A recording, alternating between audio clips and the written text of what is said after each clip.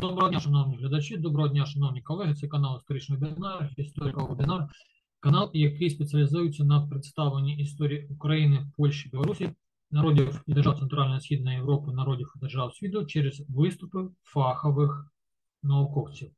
Сьогодні у нас е, 8 квітня 2024 року. Це 775-й день повномасштабної московської навали. І саме в цей день ми записуємо вебінар. Він записується традиційно з Харкова. Я хочу нагадати, що 775-й день повномасштабної навали, яка триває з 24 лютого 2022 року. Йде 12 рік неголошої війни, яку Москва провадить проти України метою війни, як наголосив президент Федерації Росії Володимир Путін, є знищення української державності та ідентичності. Початком війни була атака 20 лютого 2014 року московських військ Південного військового округу РФ і Чорноморської флоти РФ на український Крим. У подальшому півострів було окуповано 18 березня 2014 року у Кремлі, спираючись на схвалення вищих законодавчих органів РФ і підтримку населення Москві, Путін оголосив про анексію Криму. Після чого у березні 2014-го Москва перенесла головні події війни на материкову частину України до Луганщини і Донеччини. Я би хотів нагадати, що напередодні війни, вже в часі її проведення і особливо в часі повномасштабної її фази, Володимир Путін і його очільники неодноразово вдавалися до маніпуляції історії, які аби виправдати свої імперські зазіхання на українській території. Для того, щоб захистити Україну, ми просимо всіх, хто нас дивиться, підтримувати Збройні Сили України. Найкраще це зробити через фонд Повернися живим. Зараз ви бачите слайд, на якому можна побачити фонду. А Це найбільший недержавний фонд. Підтримати можна за покликаннями, які були на слайді. Можна також за QR-кодом, який ви бачите зараз. Я же хотів би ще раз наголосити, що це найбільший недержавний фонд, очолює ветеран Російсько-Української війни Тарас Чмут, очолює він його 2020 року, фонд діє з 2014 року. І це один з найбільших е і успішніших фондів, які реально допомагають Збройним силам України. Також ми звертаємося до всіх наших глядачів з проханням долучитися до зборів коштів для потреб 50-80-ї окремої десантно-штурмової галицької бригади. Воїни-десантники 80-ки беруть безпосередню участь в російсько-українській війні з її перших днів. У 2014 році бійці Галицької бригади брали участь у визволенні Славянська, боронили Луганське литовище і населені пункти Луганщини. В часі повномасштабної московської навали від 24 лютого 2022 року десантники Галицької бригади боронили Київщину, визволяли Харківщину. Затя звитяжно брали участь у Бахмутській епопеї в 2022-2023 роках.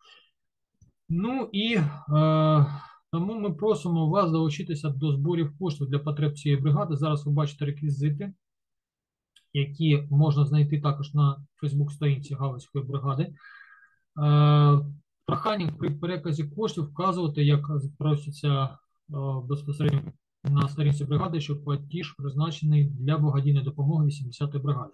Зробити платіж можна за реквізитами, які ви знову ж таки бачите в себе на каналі, або ж використовуючи QR-код. QR-код ми демонструємо вам зараз, ви його можете бачити, і скористатися ним для того, щоб перевести прийнятну для вас суму на потребу воїнів-десантників. Хочемо звернути вашу увагу, що найменший переказ зараз надзвичайно важливий для наших вояків, оскільки він дозволяє їм закуповувати автівки, ремонтувати наявний транспортний засіб, купувати дрони і купувати засоби технічної переваги. Ще раз зазначаю, що при переказі, будь ласка, зазначайте благодійна допомога для 80-ї бригади. Ну і тепер ми вже можемо переходити до подяки нашим спонсорам. Цей вебінар записується завдяки тому, що ми отримали фінансову допомогу від громадян України Івана Кочина, Мирослава Косінського, Андрія Болгірєва, Валентина Піскун і Попакіна. Ми звертаємося до наших глядачів. Якщо ви схвально оцінюєте роботу каналу, будь ласка, підтримайте нас фінансово. Ми будемо десь за найменший переказ 20 гривень. Ваші кошти йдуть насамперед на закупівлю інтернету і зума, за які, завдяки яким ми організовуємо записи вебінарів. Також, якщо кошти лишаються, вони йдуть на обслуговування технічних е, потреб гаджету, з якого записується цей вебінар, а також на технічні приготування до вебінарів. Ну і сьогодні мені надзвичайно приємно запрезентувати вам вперше в нашому вебінарі професора Івана Манавантя, дуже добре знаного в Україні науковця, доктора політичних наук, який репрезентує кафедру політології Прикарпатського національного університету імені Василя Стефаника. Сьогоднішня наша тематика зустрічі, яка буде відбуватися в рубриці Україніка, модерна доба, а також фактична презентація книги, бо пан професор презентує свою книгу. Це Яків Макагон, Патріот, Шпигун, Самозванець. Ну і е, тепер я з задоволенням е, запрошую вас ще раз підписуватися на канал вебінар. Буду вам вдячний за коментарі під відео, подобайки, поширення цього вебінару в соціальних е, мережах.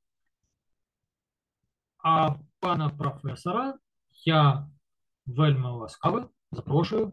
Е, пане Владиславе, дякую щиро і вітаю нашу аудиторію. Я сподіваюся, що е, ті історичні знання, котрі передаються цим е, каналом інформаційним, є дуже важливі для нашої перемоги, для перемоги України і для того, щоб підтримати наших військовиків і наших істориків, які зараз перебувають в лавах Збройних сил України.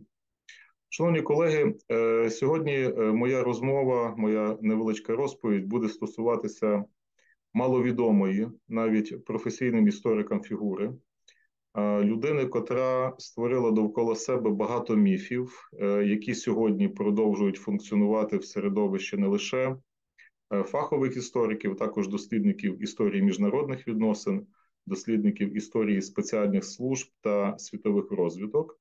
Мова про е, уродженця Галичини, українця, а разом з тим американського громадянина Якова Макогона. Яків Макогін е, відомий е, насамперед своєю проукраїнською діяльністю у міжвоєнній Європі. І якщо ми навіть подивимося сьогодні на ті електронні ресурси, котрі можна знайти, користуючись інтернетом, як то Вікіпедія, різноманітні статті, котрі оцифровані, ми побачимо там насамперед дуже е, амбівалентну оцінку цієї постаті. Позаяк вважається, що він був меценатом української культури, що він спричинився до становлення українських інформаційних бюр у міжвоєнній Європі, котрі інформували передусім демократичний світ про злочини Москви е, в період голодомору геноциду українського народу 30-х років. Разом з тим, е, Яків Макогін це дуже складна е, постать для однозначного аналізу, для однозначного потрактування його як українського патріота, тому що йому вдалося, я би сказав, пересварити між собою завдяки своїй постаті багато українських імміграційних середовищ у міжвоєнній Європі. Тут мова може бути і про середовище гетьмана Павла Скоропадського.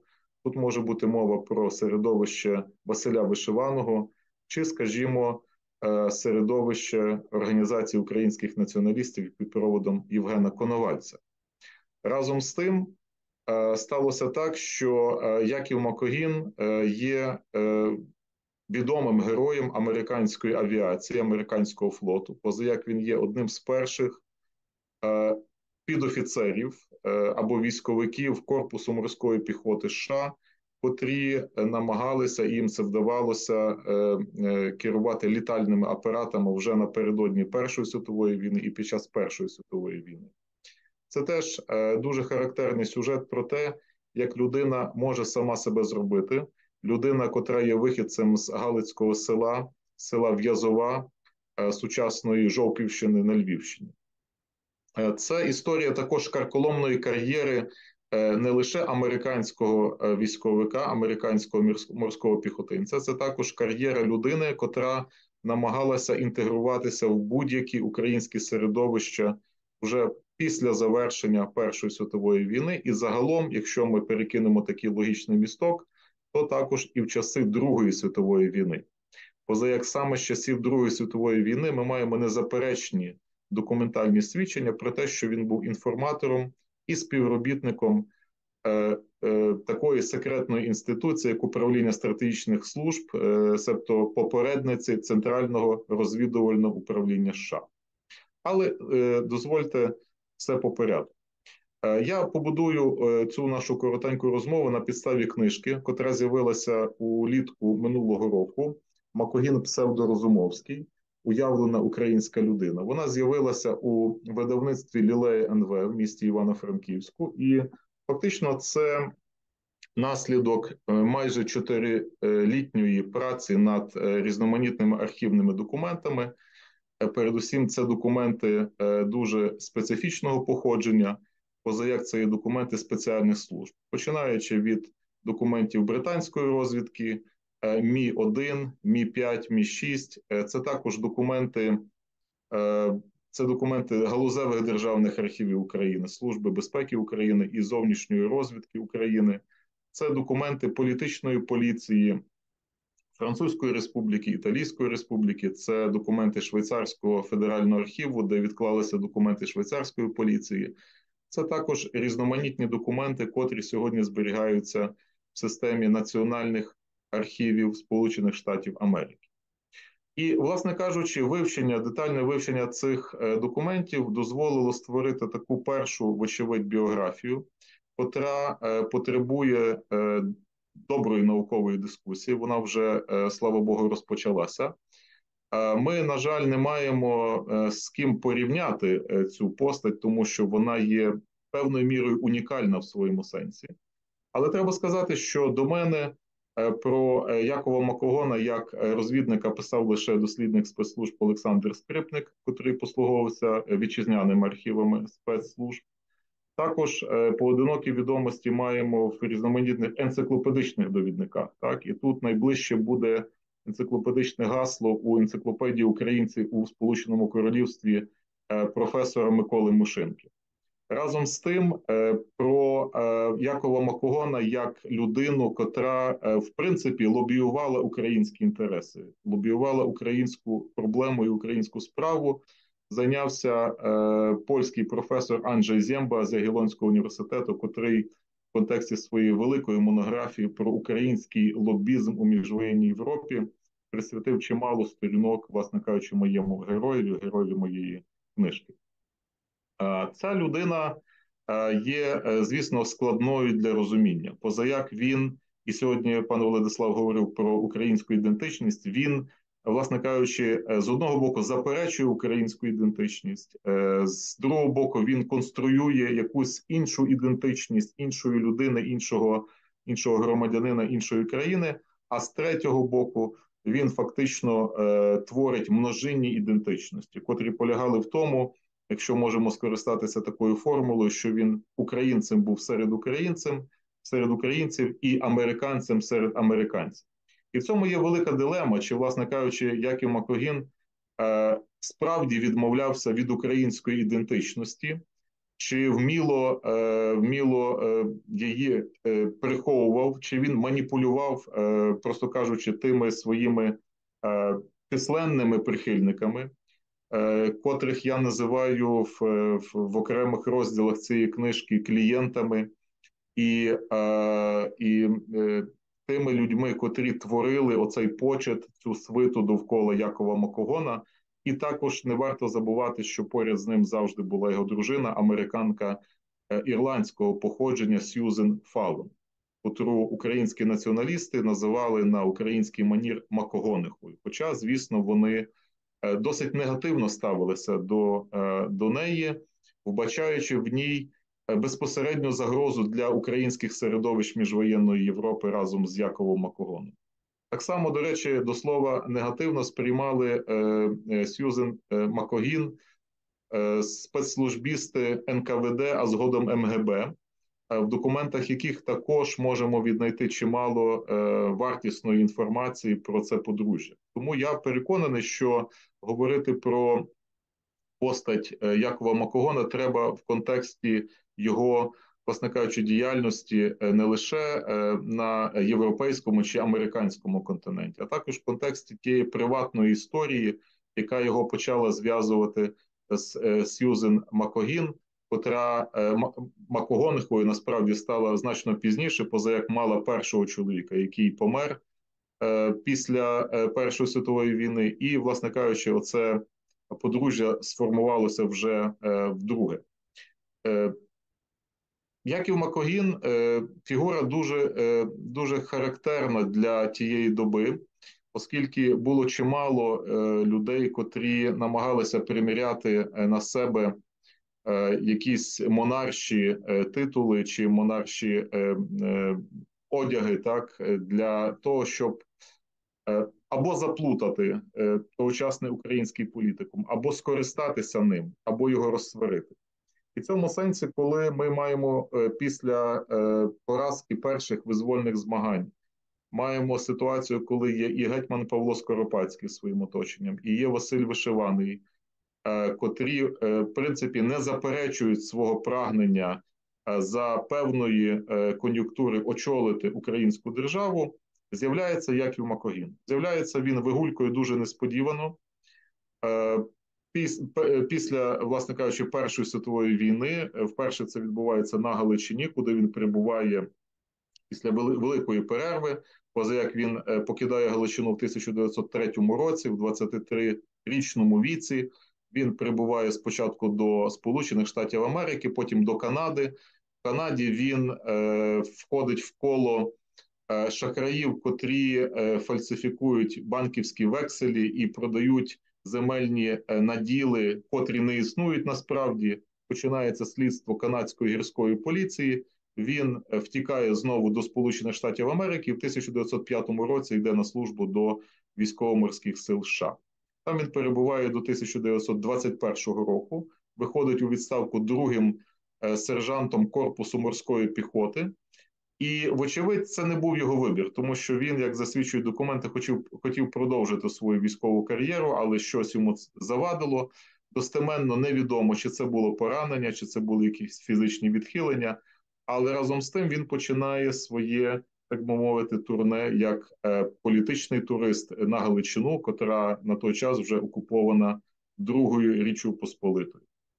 І е, такою великою постаттю, яку він намагається залучити е, на свій бік, є, власне кажучи, митрополит Андрей Шептицький. Я кілька днів тому розповідав в інституті українознавства НАН України імені Кріпакевича у Львові оцю дилему, котра постала переді мною як дослідником, чи можемо вважати Якова Макогона чи то другом, чи то ворогом УГКЦ. Тому що з одного боку він дуже прихильно відноситься до діяльності митрополита Андрея Шептицького в сенсі меценатської діяльності і націотворчої е, роботи митрополита. А з іншого боку, він е, просто є інформатором американської спецслужби і збирає інформацію про український греко-католицький клір, про е, ієрархів Української греко-католицької церкви або окремих священників. Тим таким чином він, вочевидь, шкодить або намагається зашкодити Е, церковним справам 1930-1940-х років. Яків Макогін е, подорожує Галичиною в 20-ті роки, має численні контакти з прихильниками відновлення е, відновлення української держави у вигляді монархії. Він називає себе, якщо не князем Розумовським, послуговуючись таким міфом, що він, мовляв, останній нащадок гетьманського роду Розумовських, хоча це була абсолютна вигадка, але ця вигадка призвела до того, що і британські спецслужби, і американські спецслужби, додаємо ще й канадські, мусили це все з'ясувати документально. Починається перевірка Якова Макогона. Е, згодом, е, звісно, для е, британців і американців стає очевидним, що це є вигадка. Але разом з тим це страшенно е, починає е, цікавити українську імміграцію. Частина е, української імміграції е, дуже довірливо ставиться до таких тверджень, частина заперечує це. А якщо візьмемо до уваги, що це не лише е, одне е, одне означення, так як він себе називає, тут в документах зустрічаємо і Е, прізвища е, Петра Конашевича Сагайдачного, зустрічаємо е, прізвище Павла Полуботка, зустрічаємо Івана Мазепу, зустрічаємо Івана Богуна. Тобто бачимо величезний спектр, власне кажучи, тих постатей, історичних постатей України, особливо ранньомодерної доби, котрі намагаються використати, власне кажучи, Яків Макогін, яким він і був від народження, поза як він був сином українських греко-католиків Пилипа та Катерини Макогонів з села В'язова на Жовківщині, я вже це про це казав. він намагається виставити себе як, власне кажучи, нащадок монаршого або шляхетського роду. Він поводиться відповідно, він використовує виготовлені в Сполучених Штатах Америки і конверти, і бланки для надсилань різноманітних інформацій чи листування. І відразу це виявляється певною фальшивкою, так тому що саме таких гербів, е, як з'ясувалося, е, Розумовські не мали. Е, він не гребує тим, що витрачає величезні суми для того, щоб залучити в своє коло якнайбільше прибічників і людей, котрі йому будуть вірити. Таким чином він здобуває певну таку популярність. Е, можемо її назвати навіть своєрідною піровою перемогою в українських колах, особливо на західноукраїнських землях міжвоєнний період, позаяк його подорожі а, стосуються не лише Галичини, яка є під польською окупацією, а також Буковини, яка є під румунською окупацією.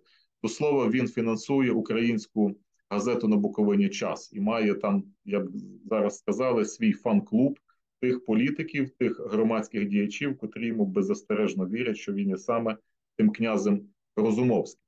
Але разом з тим за ним е, відбувається стеження, якщо не польської поліції, котра його в якийсь момент у 1930 році видворяє за межі Галичини, оскільки е, Яків Макогін ще з е, колегами приїжджає сюди вперше і починає свій по суті політичний проєкт, документуючи наслідки пацифікації е, поляків 1930 року, то за ним стежить також і румунська сигуранца. І вона е, дає дуже детальні інформації про те, що, власне кажучи, Яків Макогін робить на Буковині. Хоча треба сказати, що перше знайомство Якова Макогона з Буковиною було ще в, на початку 1920-х років, коли він з дружиною, е, вочевидь, це моє припущення, яке має під собою декілька документальних свідчень. Вони вивозять з відомого православного монастиря в Путні дві богослужебні книги, котрі стосуються 15, 14, 15 століть, і продають їх аукціонному дому е, Моргана у е, Нью-Йорку Сполучених Штатах Америки. Е, як це було здійснено? Чи це було переміщення культурних цінностей, чи це була крадіжка цих релігійних книг? Досі невідомо. А сьогодні е, ця установа відмовляється і відмовлялася в процесі написання книжки повідомити особливості набуття е, цих пам'яток. Е, в румунській історіографії сьогодні існує така чимала дилема, власне кажучи, чому макогони вивезли ці пам'ятки, і чому саме це відбулося, і можливо це відбулося під своєрідним прикриттям американського міжнародного хреста, тому що е, функціонерів е, цієї установи, цієї міжнародної організації особисто знали Макогони, і особисто знали не лише через Якова Макогона, а власне кажучи, через його дружину, котра мала широке коло е, своїх знайомств у Вашингтонському істеблішменті. Включно з першим першим директором Федерального бюро розслідувань. І тут, коли ми згадали ФБР, треба сказати, що оця своєрідна марка Якова Макогона як князя Розумовського вона має свою точну дату народження. Це лютий 1916 року, коли агенти ФБР починають стежити за ним, підозрюючи Якова Макогона в тому, що він може видавати австрійцям е, військово-технічні е, секрети американського флоту. Ну і знову ж таки треба сказати, що натуралізувався Яків Макогін і отримав громадянство лише в 1917 році. Е, до того часу він був підданим е, Габсбурзької монархії і, звісно, викликав чимало чимало запитань у е, американців. Але це не завадило йому виконувати ті військові місії, про які дуже мало відомо і в Китаї, і в Японії, і також на європейському континенті під час Першої світової війни. І наслідком цього стали його бойові нагороди, не лише американські, але і до слова французькі, які він, е, власне кажучи, отримав. І сьогодні навіть на сайті Корпусу морської піхоти можна їх е, е, дуже легко віднайти і побачити. І знову ж таки, на цьому ж самому сайті Корпусу морської піхоти стверджується, що він є представником російського дворянського роду. І що він є російським дворянином, досі ця, е, ця формула вона не змінена, і е, важко мені сказати, що вона буде змінена. Отже, міжвоєнний період це найцікавіше, як на мене, час, коли Яків Макогін показує свою природу, показує природу людини, котра намагається містифікувати дуже рясно свою діяльність, і разом з тим спостерігати е, зі сторони за українськими середовищами еміграційними. Знову ж таки, це ідея, е, котру вперше висловлював Мішель Фуко про наглядання і покарання. Я би її перефразував як наглядати і розсварювати. Власне кажучи, Яків Макогін є людиною, котра постійно є в середовищі української міграції. Він намагається е, втертися в довіру до провідників українського е, національно-визвольного руху е, поза межами бездержавної на тоді України. І найбільшим конфліктом, як на мене, є конфлікт з ОУНівцями е, Євгена Коновальця. Треба сказати, що він так допік, вочевидь, ОУН, що е, було видано спеціальний обіжник і комунікат, е, в якому зазначалося прямо, що треба визначитися, з ким ОУНівці мають справу, чи то з Яковом Макогоном, чи з князем Розумовським, і також радили йому уникати цього подвійного, цієї подвійної природи такої людини. Е, Треба сказати, що е, дуже прозорливо е, про це все казав Євген Коновалець, який запідозрив відразу в 1930 році за спогадами Євгена Онацького в Римі Якова Макогона в тому, що він є або британським, або американським розвідником. Але разом з тим, провідник ОУН сказав, що нам треба наразі використовувати цю людину, якщо вона не шкодить українській справі. Яків Макогін так сильно хотів е, бути е, помічним і потрібним е, в, в українському націоналізму, що він навіть хотів в якийсь момент потрапити до складу проводу ОУН. І це е, викликало величезне обурення, е, власне кажучи, середовища українських націоналістів. Ну і треба сказати, за браком часу можна багато було б е, про ці сюжети розповідати, що Яків Макогін принципі, як на мене, використав ідею саме українських націоналістів, тому, щоб створювати у великих містах е, на європейському континенті своєрідні майданчики інформаційні для інформування вільного світу про боротьбу українців за власну державність вже в умовах еміграційних урядів і е, різноманітних е, рухів опору чи національно-визвольних груп. І оця ідея Українського інформаційного бюро насамперед в Лондоні, згодом в Женеві почасти у Празі, вона е, була е, детермінована, власне кажучи, бажаннями українських націоналістів е, Євгена Коновальця щось подібне зробити. Про це, в принципі, зауважує ще одна дуже характерна постать того часу, якою був Ріко Ярий. І, власне кажучи, от оце перетягування канату своєрідне між ним і Яковом Макогоном, між Макогоном і ОУН, воно дається в знаки. Яків Макогін в цьому сенсі перемагає, тому що він має необхідний фінансовий ресурс. Він творить е, оці інституційні мережеві зв'язки, як би зараз сказали. Але на моє переконання, е, це все було свідченням того інституційного хаосу, який він вносив в українську визвольну справу, тому що е, дуже часто іноземці, передусім, е, іноземні політичні кола, культурні кола не розуміли.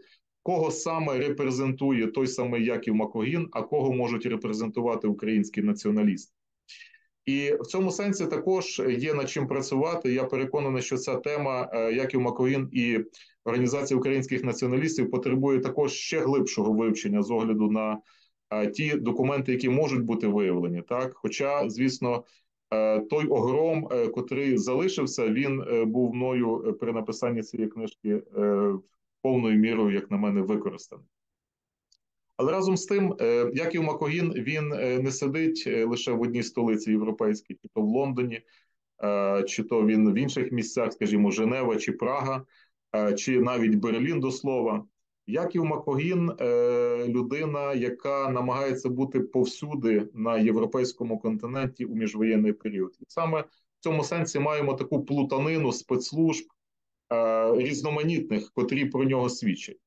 Немає, як на мене, жодної спецслужби тогочасної Європи і американських спецслужб, котрі б не зафіксували діяльність Якова Макогона. І в цьому сенсі, звісно, можливо, це і дуже добре, тому що задокументована ця діяльність. З іншого боку, вона надзвичайно містифікована і надзвичайно вона е, має багато огріхів у трактуванні тієї чи тієї події або намірів самого Якова Макогона.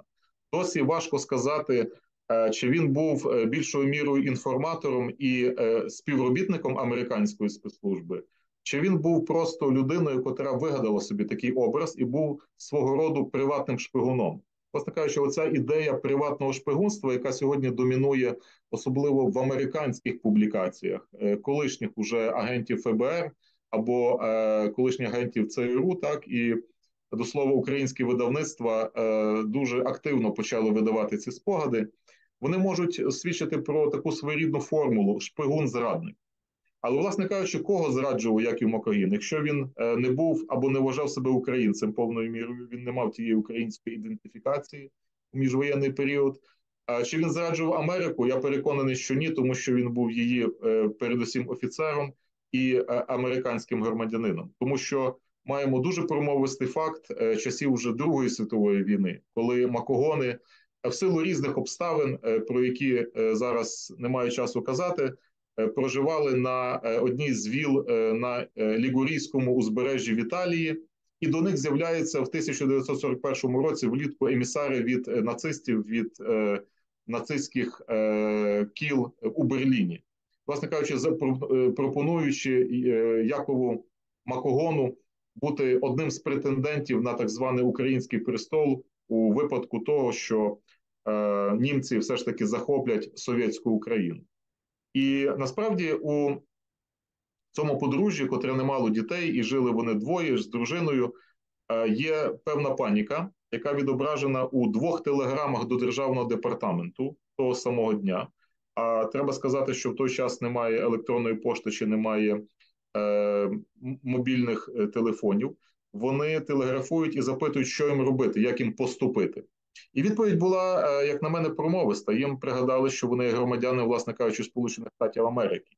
І якщо їхні е, їхні дії будуть е, кваліфіковані як шкода, як зрада національних інтересів, вони будуть за це відповідати. Ну, вочевидь, маємо такий своєрідний відкат або відступ від цих аспірацій буття українським володарем, так навіть за умов людиноненависницьких режимів.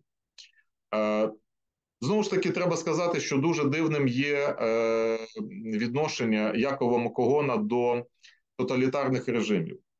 Е, Якщо ми можемо говорити прямо із документів, котрі сьогодні відомі, що він мав антипольське спрямування, що він е, дуже нещадно е, з одного боку критикує польську окупаційну владу, з іншого боку, він страшенно журиться, чи бува не українські націоналісти стоять за вбивством.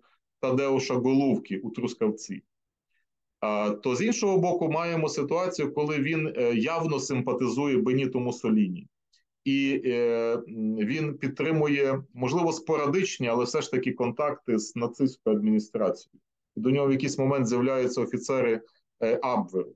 Тому, звісно, це дуже велика дилема, так відчитання правдивості в тих в тих документах, в тих свідченнях його, власне кажучи, як фігуранта оцих е, хитросплетінь е, не лише спецслужб, але хитросплетінь міжнародної політики.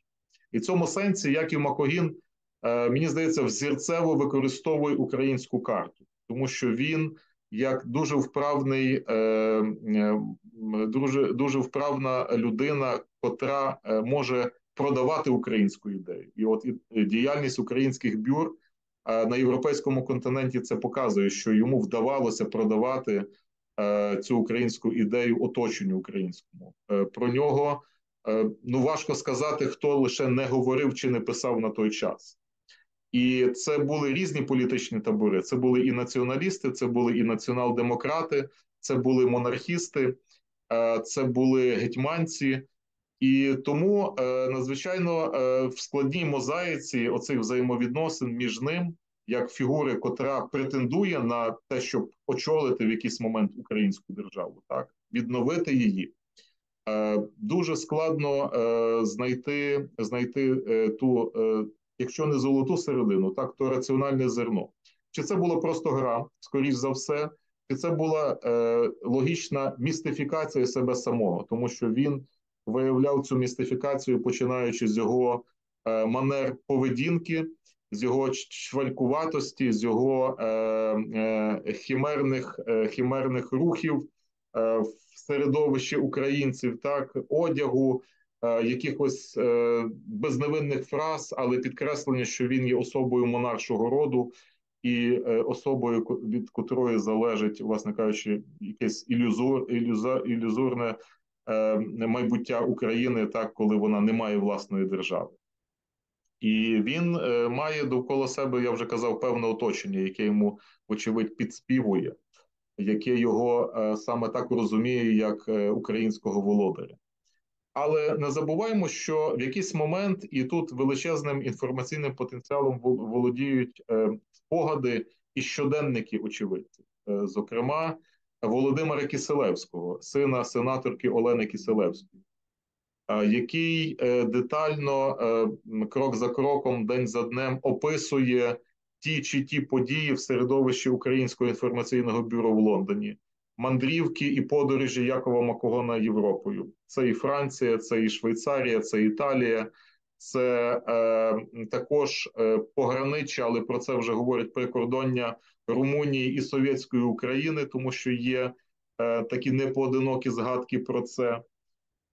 Е, Володимир Киселевський, е, бувши його е, секретарем і управителем Українського інформаційного бюро, залишив такі неоцінені спогади у формі свого щоденника, які дуже скоро, я сподіваюся, будуть оприлюднені у вигляді цілої книжки, яка готується в Українському католицькому університеті. Але найцікавіше, як на мене, є період Другої світової війни, тому що за якийсь момент після оцих всіх своїх походеньок після е, тверджень е, штибу, що е, Яків Макогін стояв за тим, що він е, давав гроші і сприяв виготовленню фальшивого паспорта Григорію Мацейку, котрий вбив е, як бойовик ОУН е, міністра внутрішніх справ Другої Речі Посполитої Броніслава Піратського. Що мовляв, Яків Макогін мав передати гроші тим е, людям, котрі організовували е, імовірну втечу Степана Бандери з польської тюрми у 1938 році. Він ще договорився до того і дописався до слова. Даруйте, що у 1934 році він стояв за замахом е, відомим марсельським убивством, так коли е, у Марселі вбивають е, кількох високопосадовців, так і особу монаршої крові. Але е, все це в принципі не підтверджується документальними документальними е, відомостями, і таке враження, що е, Яків Макогін виступає таким містифікатором власного життя. З одного боку, це селянин, це греко-католик, який е, в силу тієї імміграційної лихоманки. Е, виїжджає через Гамбург до Сполучених Штатів Америки, маючи в кишені 8 доларів, як е, ми дискутували з колегами-істориками у Львові, це були на той час великі гроші, тому що свого часу митрополит Андрей Шептицький дарував 5 доларів українській імміграції на е, такі е, благочинні е, цілі. Е, це людина, яка вже тоді е, відзначалася е, певним способом мислення як своєрідний аферист або людина-авантюрник і людина, яка е, мала б завдячувати американському флотові, що вона сама себе створила, тому що він за і спогадами очевидців, і за тими армійськими е, досьє, котрі сьогодні е, можна було знайти, і вони є відкриті. І Національний архів Сполучених Штатів Америки у частині військових архівів дав дозвіл на їх використання. Ми бачимо, що це цілеспрямована і дуже відважна людина. Людина, яка постійно вдосконалювала себе і вимагала підвищення по службі.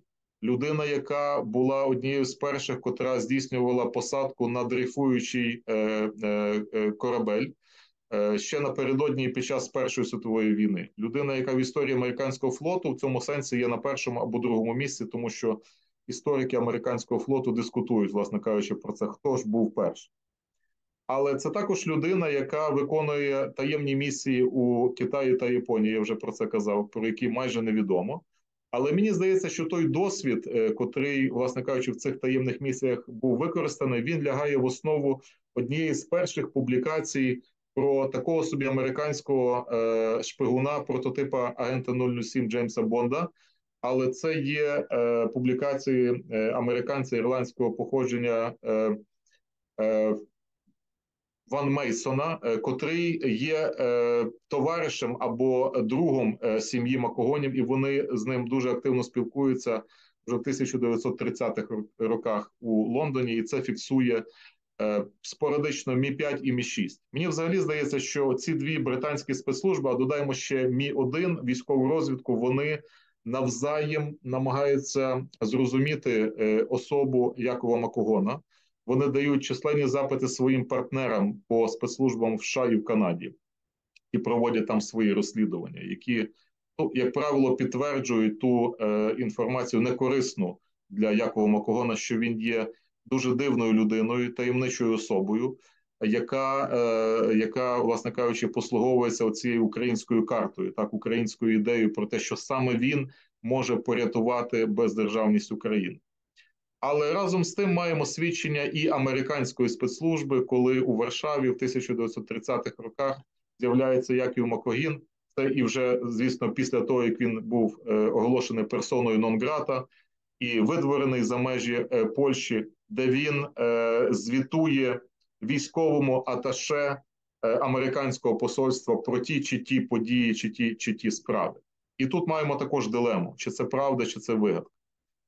Але маємо період, е, власне кажучи, Другої світової війни, особливо 1942 рік, коли Яків Макогін повертається до Сполучених Штатів Америки і є е, одним зі співробітників е, попередниці центрального розвідувального управління тієї американської інституції, котра займається розвідкою на окупованих територіях і пропонує певні сценарії того, що має відбуватися після вже деокупації. Тут не лише українське питання є визначальне, він визначає також і питання Середземномор'я або е, Близького Сходу. Він говорить, вже е, приміряє на себе е, такі шати е, великого геополітика. Так він хоче гратися фігурами на тій своєрідній великій шахівниці, хоча вона виявляється дуже малою.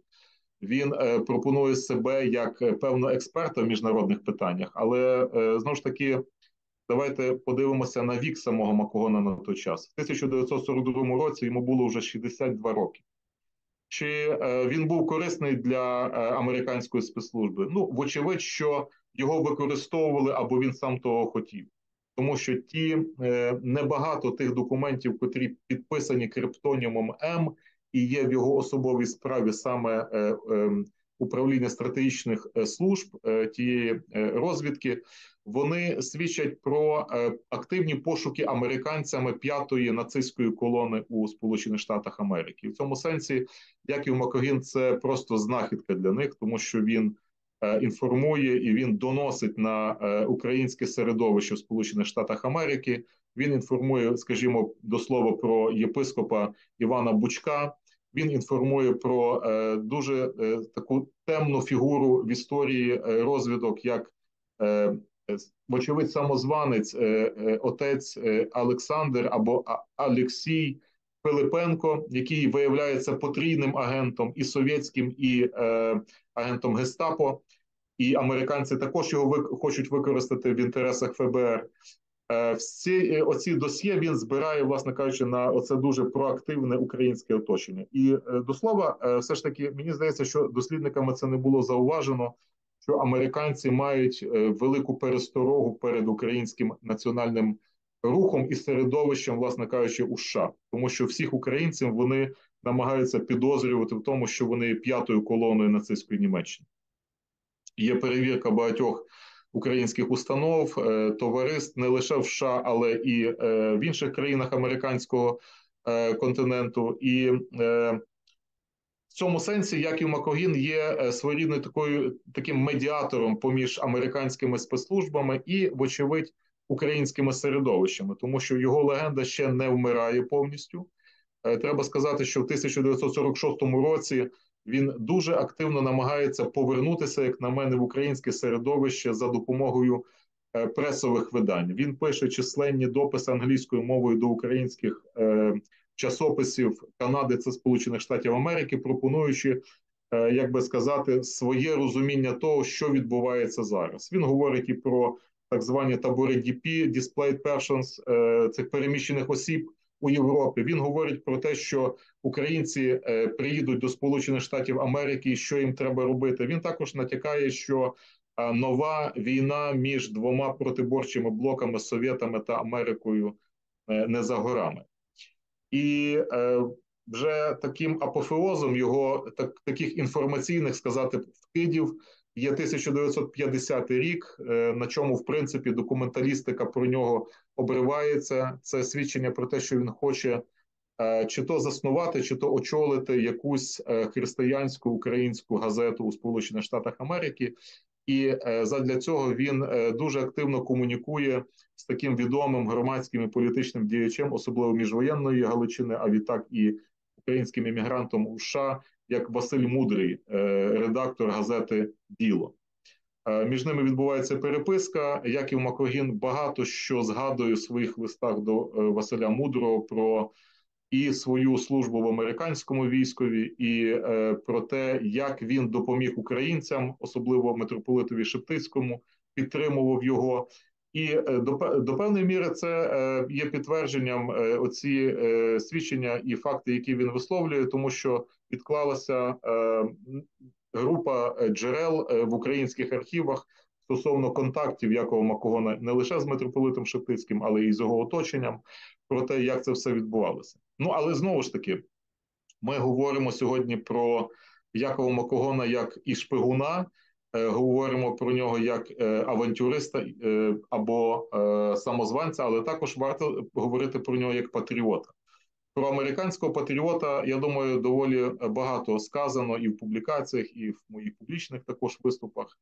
Але треба зважати на те, що Яків Макогін був і меценатом української культури, тому що він не лише створює українські інформаційні бюра. Він акумулює е, в себе і в своїй власності багато пам'яток, котрі стосуються українського мистецтва і культури. Він е, скуповує картографічні джерела. Ну, скажімо, зокрема, відомо про те, що він купує карту Боплана, ту частину, котра стосується покуття і е, дарує е, створеному у Коломиї у міжвоєнний період музею Гуцульщина, і про що є відповідні записи і згадки у пресових виданнях. Він дає освіту мистецьку щонайменше трьом молодим людям у е, Сполученому Королівстві, і вони також з вдячністю йому публічно дякують у пресових виданнях.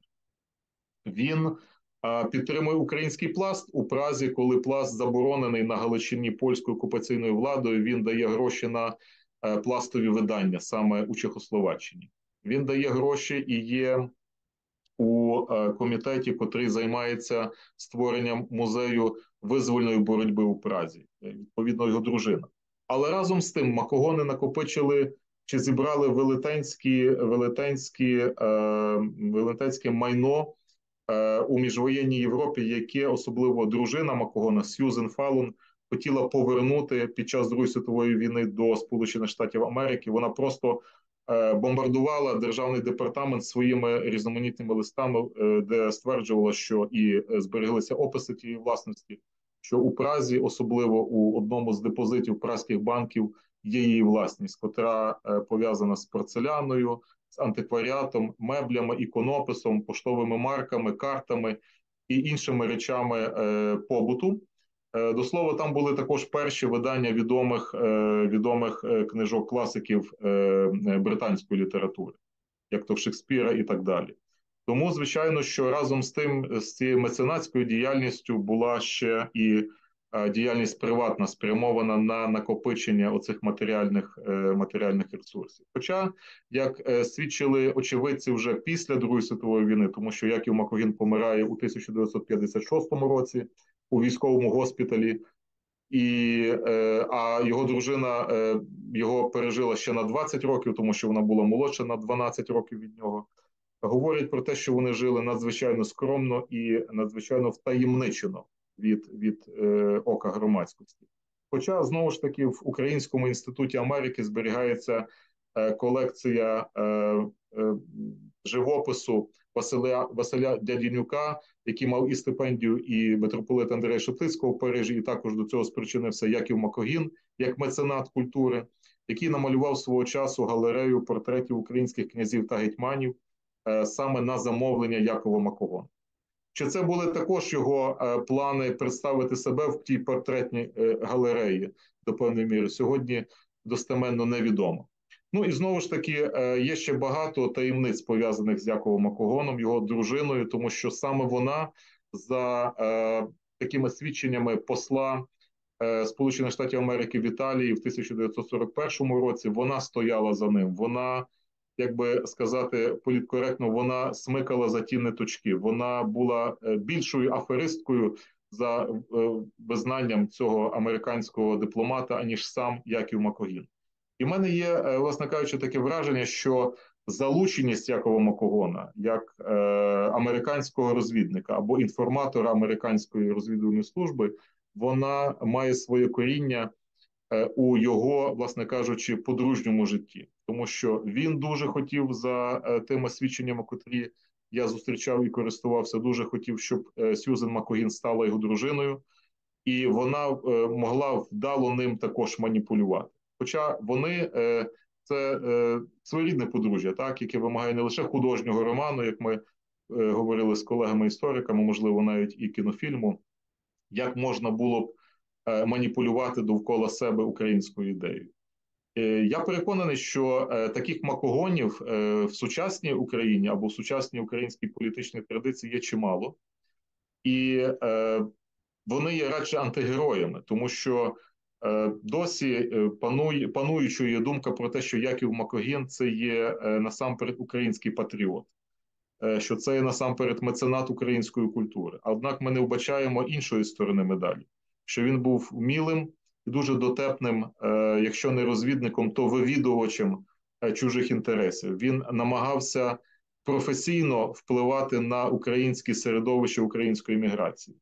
Це йому не вдалося е, почасти в українській діаспорі Канади та США, тому що його відразу, е, ну якщо можна так сказати, розвінчали. Так було дуже багато запитань до нього і до його е, минулого, тому що вже в 1930-х роках було чимало людей, котрі впізнали в ньому ту людину, яка на початку століття 20-го, в 1906, 5, 4 роках Е, власне кажучи, займалася е, шахрайством і в Канаді, і в США, виманювала величезні суми грошей. Непоодинокі також були звернення до е, правоохоронних органів США та Канади, особливо жінок, в тому, що він злочинним шляхом виманив у них чималі суми грошей на, власне кажучи, українську справу. І це було велике застереження для української міграції на в новому світі. Натомість в старому світі, так в старій Європі, такі питання поставали радше спорадично. Тут він був американським офіцером. Він навіть називав себе в деяких документах полковником американського війська, хоча, звісно, він таким не був. І він вдало намагався прикритися от, оцим американським паспортом і американським громадянством у контактах з українськими громадськими діячами, церковними діячами і політичними діячами. Тому історія Макогона вона не завершується, як на мене, вона лише, мабуть, розпочинається. Маємо навіть, е, попри те, що є книжка, яка має е, близько 500 сторінок е, тексту, е, рясно документована і аргументована. Є чимало лакун, на які відповіді на які ще поки що треба шукати. Можливо, що це дуже незвичайна і своєрідна фігура. Це радше випадковість. Про такі дивні випадковості свого часу казав і Умберто Еко до слова.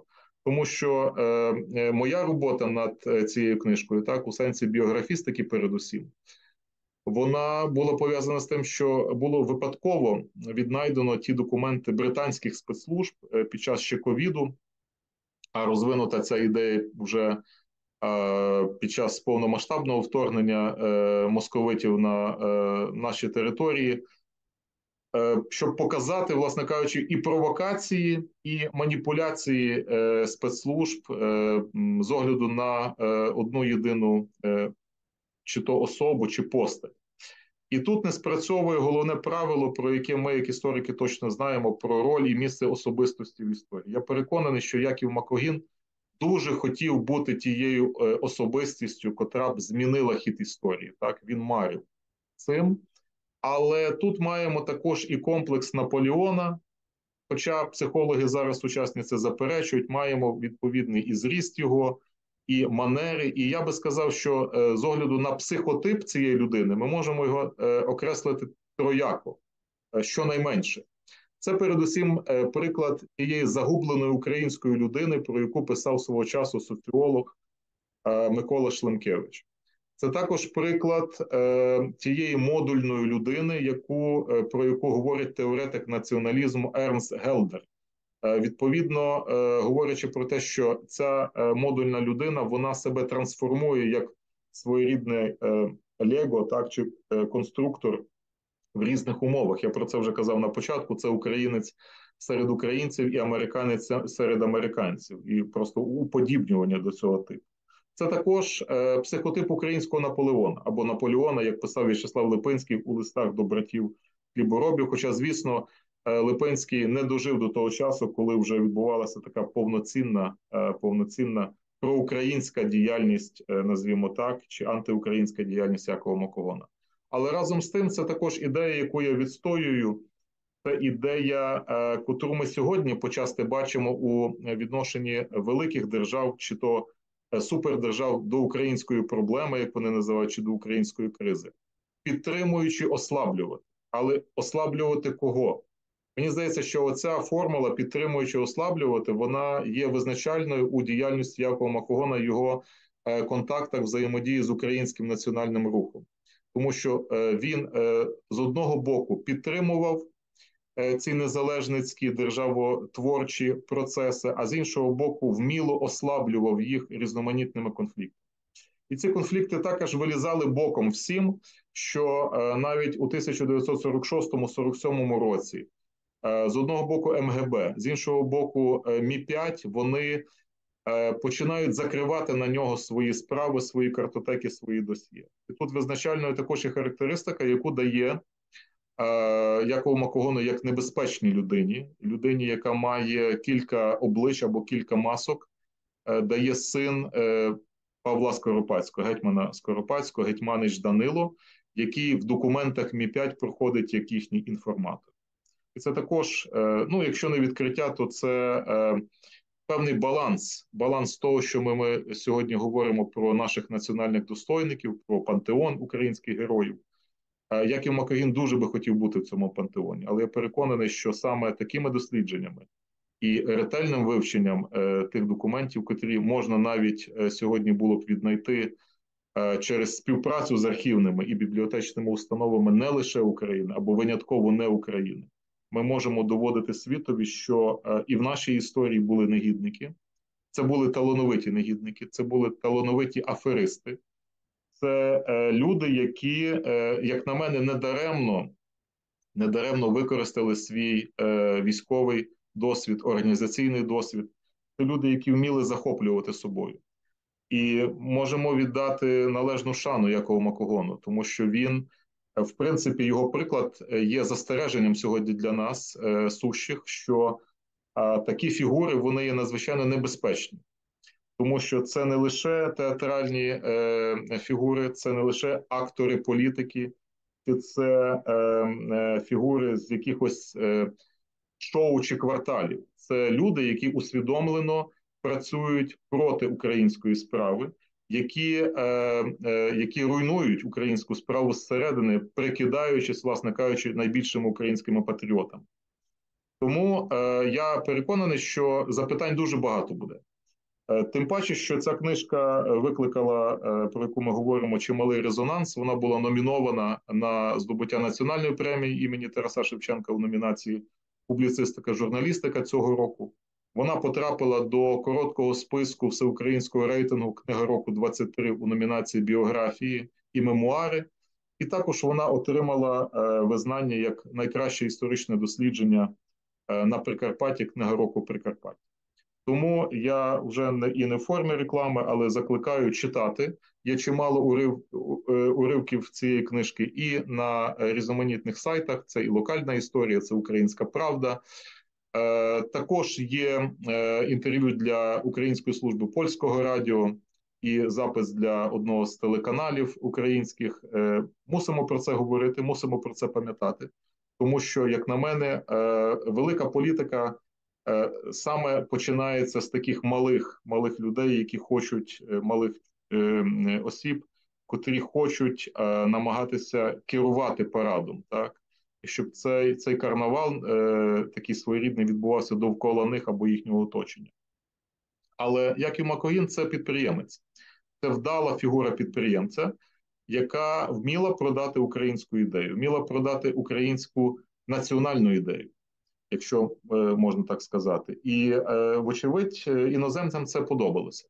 Я не переконаний, що він був агентом е, потрійним чи подвійним, як висловлювалися такі точки зору. Я думаю, що е, ця українська ідентичність вона була в принципі стерта свідомо вже під час служби на е, американському флоті. Е, Цей вишкіл, котрий отримав Яків Макогін саме під час е, служби і під час Першої світової війни, і у міжвоєнний період, як уже відставний е, військовий, тому що не можемо говорити, що він є офіцером, тому що той ступінь, е, з яким він виходить, це є е, другий сержант корпусу морської піхоти. Але разом з тим, е, загадкою або просто поясненням того, що він був таким, яким його сьогодні можна сприймати. Цікавий е, вже на завершення факт, що після його смерті медична документація вилучається е, за е, поза як вона була затребувана військовим відомством американським з медичної установи. Яків Макогін знаходить свій останній спочинок на Арлінгтонському цвинтарі, що дуже є показово також. Це, мабуть, я не знаю точно, чи не єдиний українець похований там і також його дружина, е, яка через 20 років помирає після нього, і вона також там похована. І промовистий напис на е, їх, на їхній могилі, на їхньому е, похованні, що похований е, Джейкоб або Яків Макогін, але він він же князь е, е, князь Розумовський, князь Мазепа Богун Леон Розумовський. Всі ті титулатури, якими він користувався, всі ті імена і прізвища українських достойників е, використані, і його дружина Сьюзен Макогін. Тому е, я дякую за можливість представити лише такі е, окремі сюжети його біографії, його, його історії. Вона є показова. Вона показує, що е, боротьба навіть в умовах бездержавності української вона тривала за українську справу. Вона показує, що е, малі і великі фігури на геополітичній шахівниці з'являлися, і е, той огром матеріалів, який є в Україні і за кордоном, особливо у фондах спецслужб, він показує величезне зацікавлення українським питанням, українським. Е, українською справою іноземцями, і не не входьмо в оману, не даваймо себе е, е, обманути в тому, що зараз ніхто українським питанням і українським е, поступом не цікавиться у світі. Я переконаний, що е, численні дописи відомих світових спецслужб і розвідок лише тому будуть підтвердженням і свідченням. Тому треба лише, мабуть, якомусь сенсі подякувати тим е, невідомим досі авторам, які збирали інформацію для спецслужб саме про Якова Макогона, про його діяльність, про огром його контактів не лише з українцями, як здавалося б, так, але і з вищим істеблішментом, передусім американським західного світу. І е, подивуватися тому, що е, ця е, постать була такою маловідомою бо досі фігурує думка про те, що Яків Макогін це був український мільйонер, який е, дуже активно підтримував українське інформаційне середовище міжвоєнної і Британії, і загалом Європи. Ця людина, яку знищили і підставили е, свої ж, е, маючи на увазі передусім представників українських еміграційних середовищ. Ця книжка вона доводить зовсім інше. Вона доводить те, що, власне кажучи, Яків Макогін є людиною з багатьма обличчями, людиною, яка приміряла багато масок, і маска князя Розумовського, вигаданого персонажа, йому надзвичайно, як кажуть, пасувала і була притаманною. І він з цього образу, в принципі, до кінця свого життя так і не вийшов, тому що він переконаний, що саме він може впливати на міжнародну політику і вказувати до певної міри американцям, що їм потрібно робити з українським питанням. Дякую за увагу і бажаю нам е, перемоги, е, сили української зброї, е, звитяги українського вояцтва. І е, якщо ми хочемо підтримати також е, Збройні Сили України, я з приємністю е, надам за домовленістю з видавництвом декілька примірників для придбання і переказу цих коштів на потреби ЗСУ. Спасибі. Дуже дякую, шановний пане професоре. Якщо дозволите, я вам поставлю кілька питань. А скажіть, будь ласка, ну, перше, що как би одразу хочеться спитати, невже в е, Сполучених Штатах е, одразу не було можливості перевірити приналежність Якова Макагона, точніше його, його неприналежність до роду Розумовських? Е, вони справді перевіряли, але вони перевіряли з огляду на запити британських спецслужб. Вони провели таке розслідування, я би сказав, цілою територією США, особливо у 20-х роках.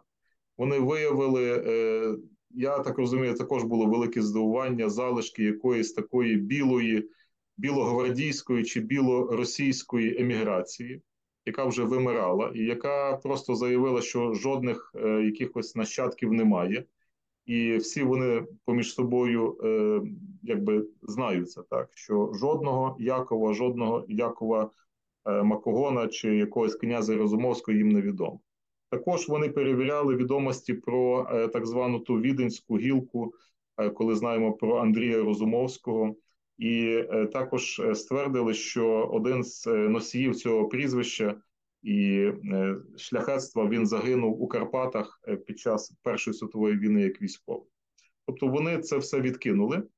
Але знову ж таки, на жаль, ті документи, які на сьогодні є, які відомі, вони не не перевідкривають завісу в тому, що нам би дуже хотілося б, вочевидь, так, частині і читачів, і слухачів подумати, що е, саме десь у е, високих кабінетах американської розвідки вигадали саме це, е, як би сказати, може псевдо чи псевдо назву цього лже, лже князя. Я думаю, що це була пропозиція приватна, саме Якова Макогона, саме так його ідентифікувати і називати тому що ми маємо величезну плутанину в американських документах, особливо з погодового характеру, де є кілька е, макогонів. Е, один з них е, дуже серйозно шкодив американській безпеці з огляду на свої прокомуністичні настрої, і за ним було стеження агентів ФБР. Інший Макогін маємо його сюжети пов'язані з дієвою армією Української Народної Республіки. Так, також і ця вся плутанина також була в сенсі і писання цієї книжки, тому що вона не є класичною біографією, хоча, звісно, від народження і до смерті, і посмертні якісь легенди. Але це книжка, яка е, якби зацікавлює читача такими сюжетами, які взаємопов'язані між собою, е, такої своєрідної сповіді його як людини і розвідника. Тобто, кожен з 27 сюжетів, які присутні в цій книжці, вони Е, починаються такою майже прямою мовою самого цього антигероя до свого читача або або до до тих, котрі будуть досліджувати його біографію. Тому е, вона є радше антибіографією, так назвімо. Мені здавалося, що так я можу зацікавити передусім пересічного читача, так який не втаємничений в якісь секрети ані спецслужб, ані історії. Ну, скажімо, буквально е, перший розділ це п'ять героїчних в лапках е, заповідей, які звучать так: ніколи не вірте вашим біографам, ніколи не вірте тому, що напишуть після вашої смерти, ніколи не вірте тому, що кажуть про вас поза очі, Ніколи не вірте тому, що знають про вас спецслужби, і ніколи не вірте тому, що написано про вас в енциклопедії. Це якби такий пер, перший стартовий майданчик розуміння е, того, про кого ми говоримо. І він справді був таким дуже добрим містифікатором. Але разом з тим, е, в усіх подальших американських документах, особливо американської спецслужби, він фігурує як, власне кажучи, Яків Макогін, Джейкоб Макогін, який є е, інформатором цієї американської спецслужби. Не більше і не менше. Я зрозумів, дуже дякую. А ще таке питання. Ви ось коли на початку казали, зокрема, що постать е, Якова Макагона разом із його дружиною потрапили в коло зору також е, чекістів НКВД. А в зв'язку з чим? Е, ці документи, котрі е, відомі дослідникам, так вони розповідають більшою мірою про е, про загал українського еміграційного середовища, тому що в якийсь момент стає показовується активність Якова Макогона. Жінка вже йде після нього, так у таких у таких донесеннях, таких нотатках, і найцікавіше інше, що ця фіксація відбувається на Лубянці, сумновідомі, відбувається це в Москві. І е, на деяких документах є підписи вбивці Євгена Коновальця, е, пізнішого е, генерала КДБ Судоплатова, який просто в переліку тих е, е, діячів українського руху відзначає, за ким треба е, проводити нагляд і стежити. Саме там вигулькує вигулькує Яков Маковін, хоча не лише там є е, досі невідомі нерозсекречені е, е, позначення джерел інформаторів, так які доносять до Амер... До совєтської спецслужби про те, скажімо, що робив Макогон у Празі чи в Лондоні. Маємо також дуже е, серйозний огром інформації з е, документів відомого агента ОГПУ Павла Кожевнікова, який навіть був членом проводу ОУН і потім був викинутий з нього за підозрою у тому, що він є агентом е, совєтської розвідки який е, прямо йшов на контакт е, з Яковом Макогоном, цікавився ним, приїжджав до нього і зустрічався в Римі, і також е, на тій відомій віллі в Алясіо в Італії. Маємо ситуацію, коли і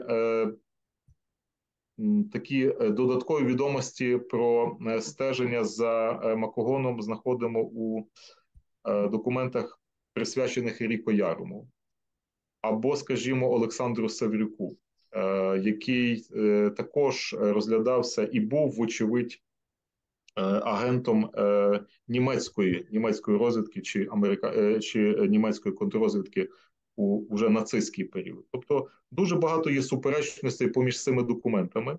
Інколи вони навзаєм переказують відомі речі, і в цьому сенсі я можу сказати, що найбільш достовірними виявилися документи британської розвідки, тому що там іде дуже деталізований аналіз того, що не лише одне джерело щось сказало чи щось бачило, але іде відразу е, перевірка е, цього джерела і цих, е, цих фактів, ну скажімо, з боку і американців, і канадців.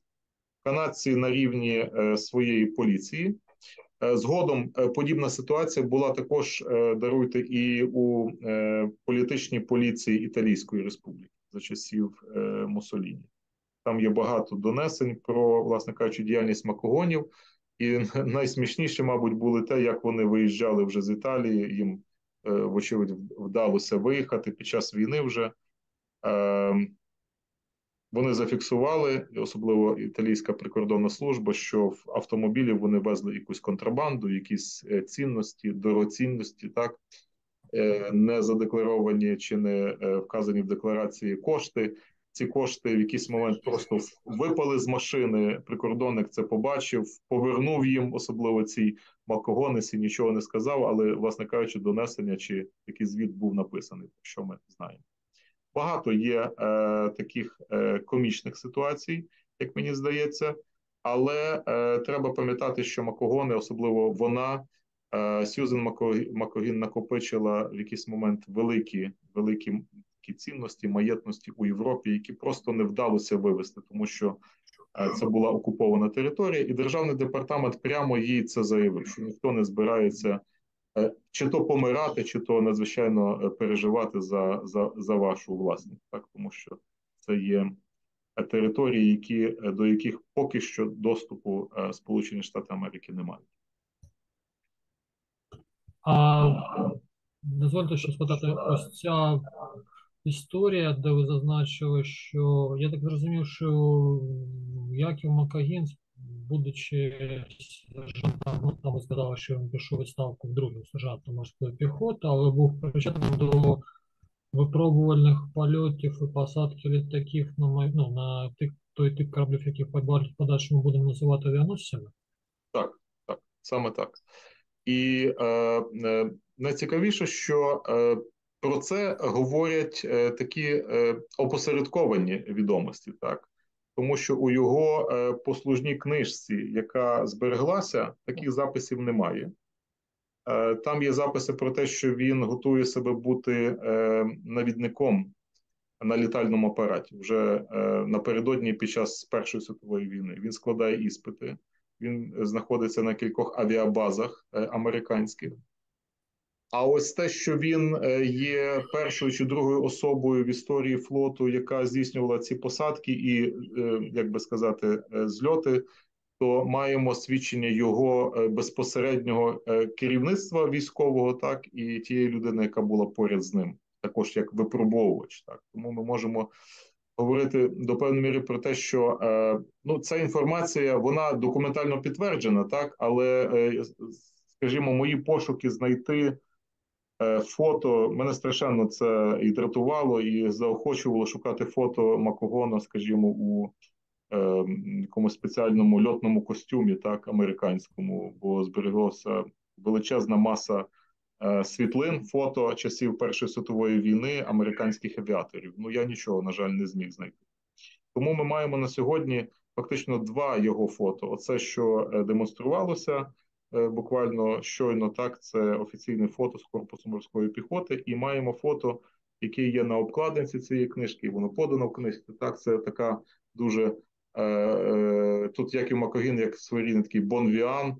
Е, в цивільному одязі вже, е, вочевидь, 20-ті е, роки ХХ століття, бо він з'являвся в багатьох готелях Європи як дуже пристойна людина. Найбільше він дивував у Парижі, тому що вів дуже тихе і спокійне життя, як пишуть вже агенти французької поліції, але він непокоїв українське середовище. Я даруйте, якось вилетіло мені.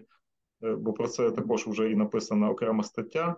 Е, в 1934 році е, була підготовлена анонімка про Якова Макогона. Її підготував Василь Панейко, який був співробітником другого відділу розвідки Генерального штабу Французької Республіки, і він підготував цю анонімку, вочевидь, на або прохання, або Е, в контексті тих розмов, які відбувалися в середовищі Василя Вишиван. І ця анонімка французькою мовою в якийсь момент потрапила до митрополита Андрея Шептицького, який, теж прочитавши її, надіслав сенаторці Олені Киселевській. Ті анонімці були е, звинувачення у фінансових махінаціях, в тому, що Яків Макогін налагодив Е, нелегальну торгівлю наркотиками і зброєю в цілій Європі і на Близькому Сході. Якщо так дуже коротко, е, зацікавлені особи можуть знайти мою статтю. Хто стояв за анонімкою про Якова Макогона, вона є оприлюднена також на репозитарію Прикарпатського університету. Там можна її просто прочитати і познайомитися.